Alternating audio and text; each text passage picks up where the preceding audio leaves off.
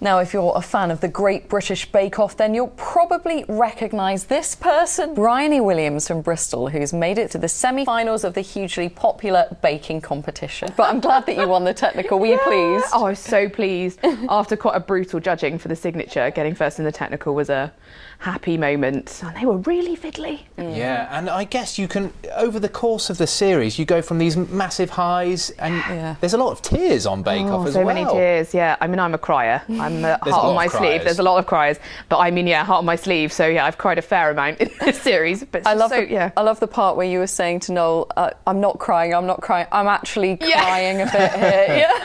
But you get so involved in it, I presume. It's it's your whole life while you're in Bake Absolutely, and your everything, your heart, your soul is in those bakes. Mm. And if they don't like it, it really is like they're criticising you personally. So um, yeah, it's not nice. When And it, I was watching a couple of weeks ago, and I always wonder because when you finish and you know that you've kind of nailed your Mm. your baking, and you see someone else's, and you go over and comfort them, is there a little bit of you that's going, "Hey, theirs has gone wrong, is great"? no. You are, you No. are, you are genuinely. It's very genuine. You, you, you know, there's that camaraderie. Obviously, you want to succeed, but you don't want others to fail because it's you know how much work's gone into mm, it, and Yeah. especially by this point in the competition, we were all so tight and so friendly that you just didn't want to see that go wrong. Have you always been a baker, been comfortable in the kitchen? Um, no, I only started in 2013 um, uh, as a bit of a hobby, and then it, it, it grew from there really, and it's kind of become my my happy place really, and I just really enjoy doing it. So how did the whole getting on Bake Off happen then? just this time last year, you know, the advert comes up at the end of the show. Do you think about applying for Bake Off? And I never in a million years thought I'd get anywhere near through. Um, but yeah, I started getting phone calls from a London number. And I thought it was PPI calling, so I ignored it. And then I had some answer messages, and I sort of answered, and it was, you know, so and so from Bake Off. Could you give us a call back? oh my goodness! Oh my goodness! Absolutely, and and how it has developed, you know, it's amazing seeing um, seeing everybody's kind of personalities come out because we watching at home get involved, Mm. Yeah. and we really, you know, when we see you upset or Yeah. cheer, you know, even clapping, then we're kind of getting involved in that yeah, as well. Yeah.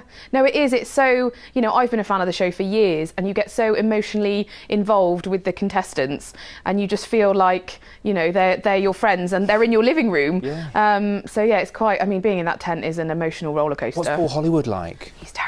He's. Yeah. He's absolutely terrifying. Yeah. It's the eyes, I it's the eyes, the steely blue eyes. Yeah. when he looks at you, it's like, oh gosh. but then when he tells you that you're good or gives out the handshake. The handshake. Yeah. Yeah. absolutely. I mean, it's just you know cloud nine when when when you get the compliments.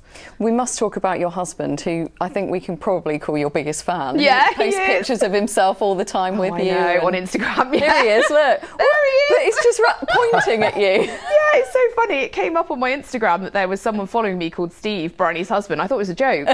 and I was like, Do you know about this? He's like, Oh, yeah, it's me. and he's just basically, yeah, he's just so cute. just loving it. And he's he's so proud. and you and you watch together, don't you, in a Yes. in a pub in Bristol? Yeah, in our local pub, yeah. Um, and it's great.